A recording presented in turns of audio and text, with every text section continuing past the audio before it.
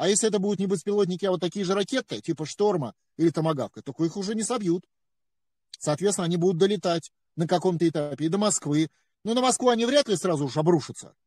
А вот э, расширят зону Белгород, э, Ростов, э, юг России в целом, э, Краснодар. Вот эту зону расширят. Я думаю, что даже это просто произойдет автоматически. Не там, в связи с чем-то, а по их плану произойдет. Там вначале одну ракетку пустят на Краснодар. Ага, обошлось.